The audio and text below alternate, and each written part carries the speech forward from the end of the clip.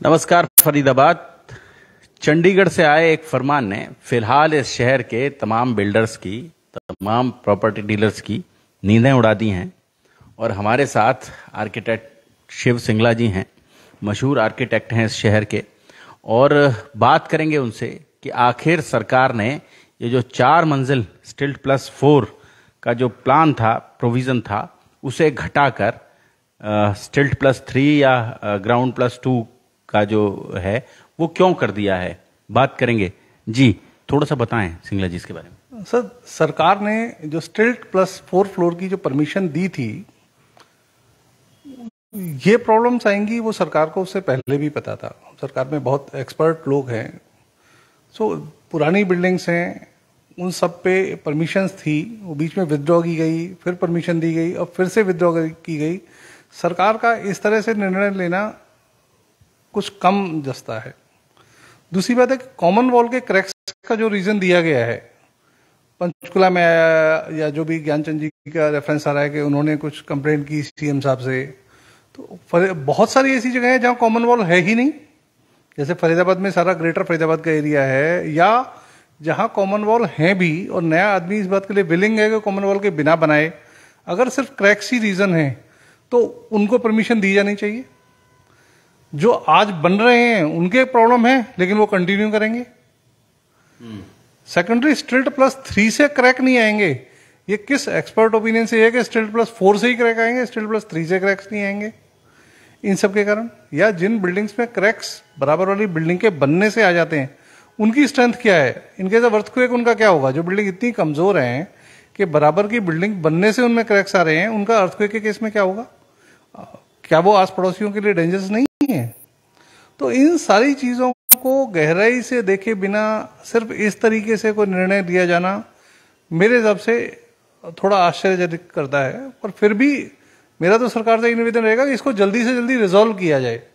और शहर में आधी बिल्डिंगें चार स्टिल्ट प्लस चार बनी रहेंगी, आधी स्टिल्ट प्लस तीन बनेंगी। आज भी गवर्नमेंट स्टिल्ट प्लस चार के नक्शे ईडीसी का पार्ट पेमेंट का कोई प्रोविज़न नहीं है।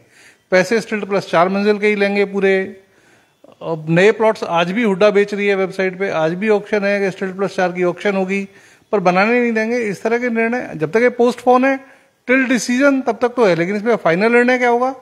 वो ज़रूर देखने वाली, गौर करने वाली बात है कि सरकार इस पर फाइनल डिसीज़न क्या लेती है। कौटिल्य ने कहा था कि राजपुत्र ऐसे ही मछली की तरह होते हैं, जैसे मछली कब पानी पी लेती है, कब पानी निकाल देती है, पता नहीं चलता। तो कब सरकार से जुड़े जो नेता हैं, अफसर हैं, वो कब भ्रष्टाचार का पैसा खाने लगते हैं और कब निकालने लगते हैं, उनके बारे में भी पता नहीं चलता।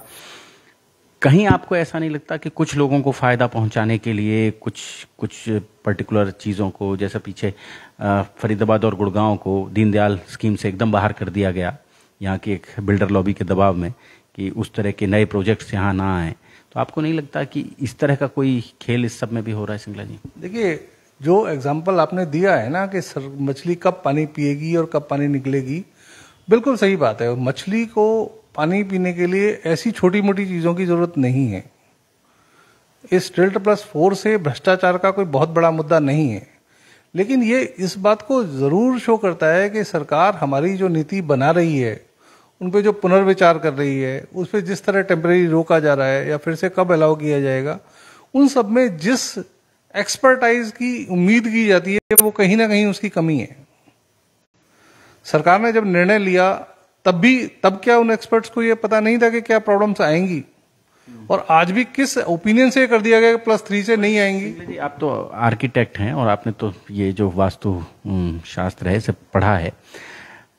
जो ये दरारें आती हैं कॉमन वॉल की वजह से आपको नहीं लगता कि ये उन कारणों से आती हैं जो इसके मानदंड निर्धारित हैं? उनको बिल्डर्स फॉलो नहीं करते या उनको बनाने वाले फॉलो नहीं करते तो उसकी वजह से आती हैं। हाँ ये एक बहुत बड़ा कारण है। लेकिन ज़रूरी नहीं है कि जो नया मकान बन रहा है, वही फॉलो ना कर रहा हो।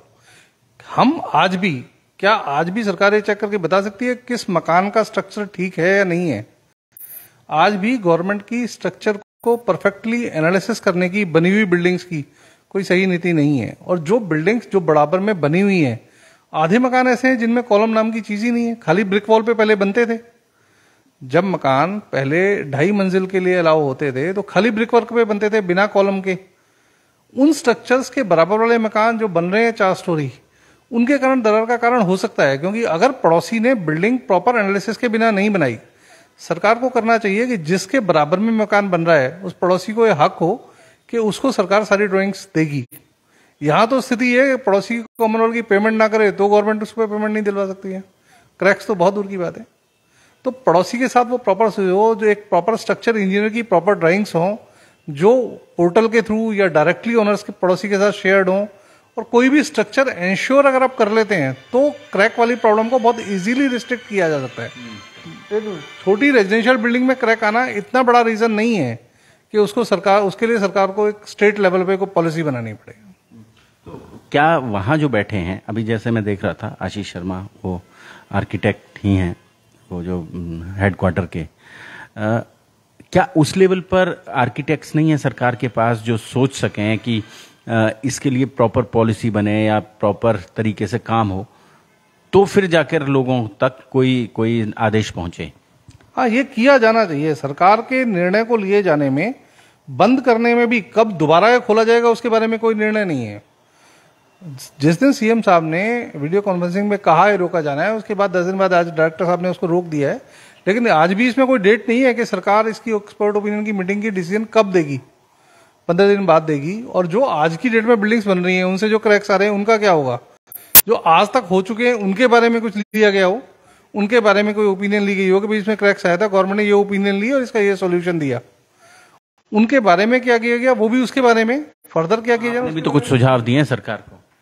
हाँ हमने तो सिर्फ़ यही है कि भाई जो जो जो मकाने ऐसी है मान लिया ऐसी बस्ती है पूरा ग्रेटर फरेड में बहुत सारे ऐसे लोग हैं जिनके दोनों तरफ़ प्लॉट खाली है। उसको भी क्यों रोक दिया गया? अगर गवर्नमेंट का कारण सिर्फ़ कंसर्न क्रैक ही है तो जहाँ पे बराबर वाले सारे मकान खाली है उनको क्यों रोक दिया गया? या जहाँ पड़ोसी को कोई दिक्कत ही नहीं, जिसका प्लस फोर फ्लोर बना हुआ है दोनों तरफ़, उनको क्यों रोक दिया गया है? तो सरकार को कुछ दस दिन बाद अगर कोई नोटिफिकेशन है तो वो बहुत स्ट्रेट डिटेल्ड गाइडलाइंस के साथ आना ना। पहले दिन का नोटिस और दस दिन बाद का डिसीज़न वो दोनों सेम होना, कहीं ना कहीं होता है कि भाई बहुत गहराई से सोच के निर्णय नहीं दिए जा रहे हैं। तो बहरहाल, अभी फ़िलहाल स्थिति यह है कि अगर आप स्टिल्ट प्लस फोर का कोई नक्शा सबमिट करेंगे तो वो पास नहीं होगा। आपको केवल स्टिल्ट प्लस थ्री तक ही बनाने की अनुमति होगी। स्टिल्ट प्लस चार के पैसे जमा करके स्टिल्ट प्लस तीन तक बनाने के पैसे चार की जमा होंगे सर। हाँ पैसे चार के ही जमा होंगे। सरकार के पास पार्ट पेमेंट जैसी कोई नीति नहीं है। अभी भी जो ऑर्डर आए हैं इसमें सरकार ने ये नहीं कहा है कि पैसे भी तीन के जमा करो और नक्शे भी तीन के पास कराओ। जोड़ेंगे फरीदाबाद आपको, शहर की ऐसी ही और महत्वपूर्ण खबरों के साथ। बहुत बहुत धन्यवाद।